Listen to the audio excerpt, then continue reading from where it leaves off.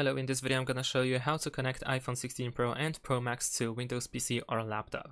So in order to do this you will need to use the USB cable that you use for instance for charging your device. And of course you need to connect it with your Windows PC or laptop. So let's plug it in. In addition to that you will also need to download iTunes. You can do that for instance by visiting Microsoft Store. So in the Microsoft Store you want to search for iTunes and then you can click over here and here you should be able to install it. I have already installed so I can just open it.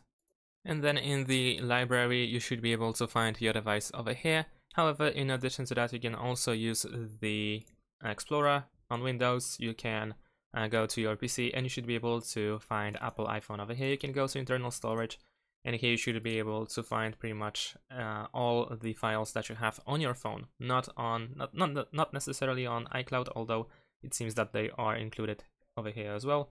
It might take some time to uh, load everything, but you should be able to find all videos and photos that you have stored over here. In addition to that, you can also sign in to iCloud on the browser. This works as well, so everything that you have on iCloud, you can go to the iCloud website, log in, and everything should be over, uh, over there as well, so you don't really need to even use uh, the USB cable if you want to transfer something. However, if you wish to just connect with your PC, then of course this is one of the ways to do so. And that's pretty much it. Thanks for watching, leave a like and subscribe to my channel and see you in my next videos. Bye!